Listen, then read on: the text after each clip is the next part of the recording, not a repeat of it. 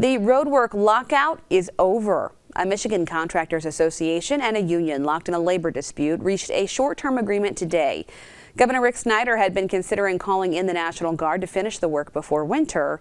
He says workers were told to report back to job sites immediately today.